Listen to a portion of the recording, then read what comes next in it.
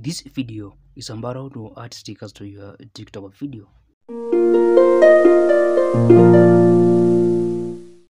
Now, after adding or recording your video, you need to tap the sticker icon above here to access all these kinds of stickers.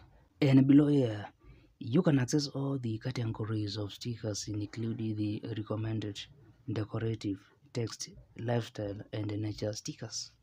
And if you need to add customized stickers, then you can add them from your device. And still above here, you can add special stickers like mention, hashtag, poll, ask, and question and answer stickers. But you can also add question and answer stickers from the camera screen.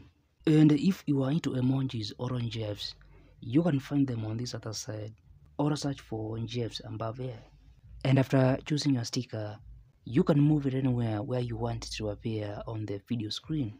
And if you tap on the sticker, you can pin it to add some movement to it or set when you want it to appear on your video or even edit it. And to delete your sticker, you just need to drag it to this torch icon. In addition, you can add stickers to your TikTok video through a video editor, and that is if you prefer to upload your videos from your device. Now, if you find this video helpful, like it, and if you want to grow and succeed on TikTok and the other social media platforms, ensure you subscribe to this channel for more videos.